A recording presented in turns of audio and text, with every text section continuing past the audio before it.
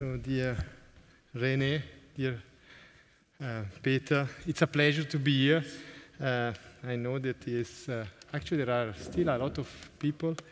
I will really try to go very fast through all the indication, contraindication, and some technical aspect on MitraClip. So you see the system here.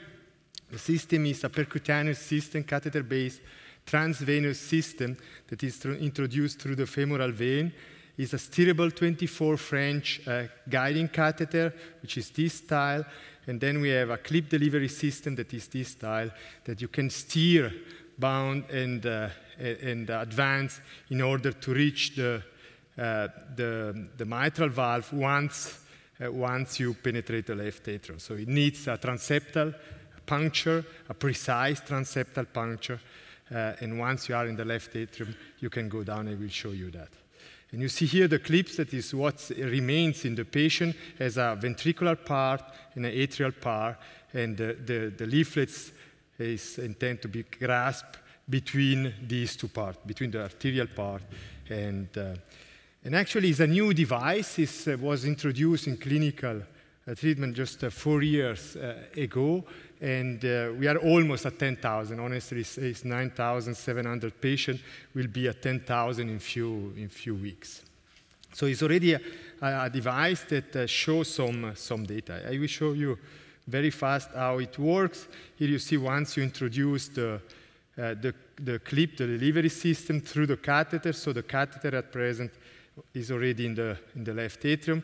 You go through the left atrium. Everything is is based on imaging uh, with uh, transesophageal echo. So it's guided with transesophageal echo and uh, X-ray. You see, you steer down to the, to the mitral valve looking at the transesophageal echo.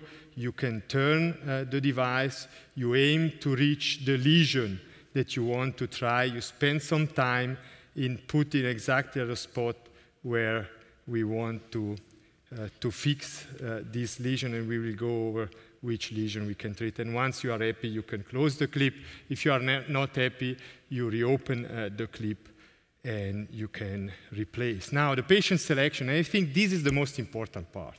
So the technical aspect are, are, important, but really the patient selection is where we have to spend some time. So there are some patient criteria and there are echocardiographic criteria. And this is the way how we have to select the patient. First, the patient criteria, so clinical criteria, and second, the echo, criteria, not the, the other way around as often happens in medicine. So uh, patient criteria, the patient has to have a severe uh, uh, severe MR and has to be symptomatic. The patient has to be at high risk for surgery or so-called inoperable, and the definition if it's a patient is at high risk should be done in a, in a really heart team consensus where the, the surgeon, and in particular surgeons that are, that are uh, performing mitral valve surgery are really integrity of the, of the discussion. Then patient with severe heart failure, so with ejection fraction of less than, than 30 uh, percent or se severe dilated uh, ventricle. In patient with no responder after CRT, and here I think we have to wait at least three months after CRT to say that they are not responder. And then in patient with severe MR after TAVI procedure, and these patients are actually increasing. Then we have the echocardiographic criteria, the visibility of the mitral valve is, uh, is extremely important. We don't see the valve. It's not like in the surgical theater when you operate and you reconstruct the valve in a surgical way that you see the valve that you can really appreciate. We have to use the TE, so it's an indirect method if you want, but you need to have optimal imaging quality. And then you, you, you have to be able to predict that you are able to grasp both leaflets with the clip. So our selection, what we did till now, and this reflects actually most of the center, is in degenerative mitral valve disease, so in prolapse, in flail, and so on, focus only in the elderly, in very elderly patient, or in high-risk patient. And in functional uh, uh, MR, uh, this is a, probably an increasing number of patients is a present 50 to 60% from the patient that we are treating now, in, of course, in patients with an ejection fraction of less than 30. And why in degenerative MR we, we focus in the elderly? You know that the surgery of the mitral valve, which is the gold standard, I want to, to state that, in patients with severe MR has excellent result in, in, in good hands. If an, a surgeon has a good experience, as excellent result. But still, if we look at the data in the elderly, you see in, the, in the STS uh, database, uh, in patients over 75, the mortality, the intraoperative mortality, the operative mortality, which is till the exit of the hospital, is 17%. So it's not the, the mortality of 1 to 3% that we always propagate in the younger patient. Uh, similarly, if you look at the, at the, two larger centers with the largest experience in mitral valve reconstruction, and this was a publication a few, few years ago, so Mount Sinai in New York, together with Leipzig, you see that for the repair, and these are the mortality data at one month, for the repair is 5.1 in this elderly patient, and 90 days is almost reached 20% for repair, and obviously for replacement is much higher. If we compare, and this is not a comparison study, but just to show that if we focus in this patient, I think we are doing something correct. If we look at the first 100 patient was published in Heart by Daniel Sürder from, from Cardiocentro. Uh, the first 100 patients that were treated in, in Switzerland, 54% were older they're 75, so it means that we are really looking for this patient. We have an hospital mortality of 1%, a 30 days mortality of 4%, and a 90 day mortality of 7%, and the morbidity extremely low. So uh, the mitral clip in selected patients appear to be a, a safe a safe procedure. And if you look in the conclusion of the paper from the Mount Sinai and, and, and, and, Leipzig group, you see that in the conclusion they also allude that emerging percutaneous technique may offer a viable alternative to surgery in this patient, because in this patient, in the elderly patient, what we want to achieve is to have optimal uh, quality of life. Just an example in degenerative MR, you see this patient is not the youngest patient that we want to have in, on the table uh, is a patient which is quite small. It's a young, uh, a, a, small lady uh, the, which was living at home till the sudden rupture. She, she told, I had a sudden, sudden pain, chest pain, a rupture of, of the chordae in a prolapse. You see a severe MR. The patient was in intensive care under dobutamine diuretic with acute renal failure. This is not the patient that you want to have uh, on the table for surgery. You see, there is no doubt that the MR is uh, severe. You see the flail uh, here in the intracommissural with the cord rupture, no doubt that is severe, uh, the MR.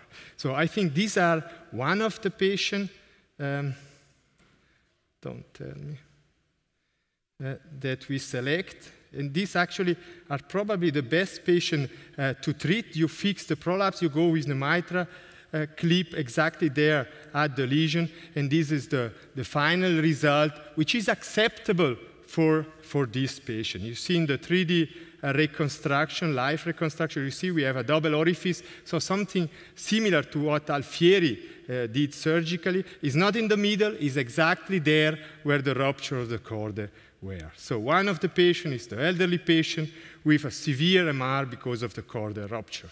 The second category that I was alluded in degenerative patient is patients that are already operated uh, uh, with cardiac surgery. You see a patient that was already operated, a, very small flail, you, you even see it here in the angio, a very small flail, a severe MR, these are also, I think, good candidates. If you speak with a surgeon, they say, well, you know, you cannot achieve good result with just one clip. You need to have a ring and a good reconstruction. The valve should smile at you. And of course, they say the clip patient doesn't smile, and it's correct. Uh, but what I answer is the patient does. This is the patient that was treated. Taken from the intensive care unit, you still see the stop clock here. The two are two red. One was for diuretics, the other one was for the, dobutamine. I think in this specific patient was a good decision. This is another patient, you see also a similar age category.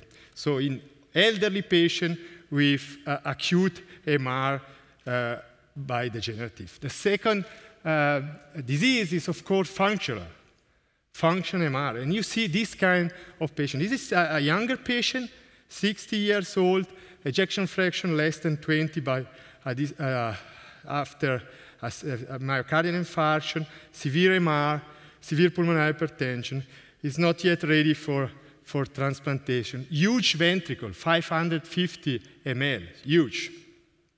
This you can also uh, treat it quite, quite good. You see, you almost abolish the, the, the mitral regurgitation in this, uh, in this transthoracal echo. You see the decrease, the remodeling that you see in most of the patient, the dramatic reduction in pulmonary, uh, in pulmonary uh, pressure.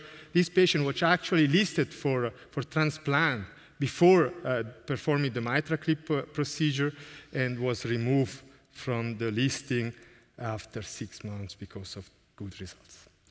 There are also many no-goes. I think the first no-goes for MitraClip is the good surgical candidate.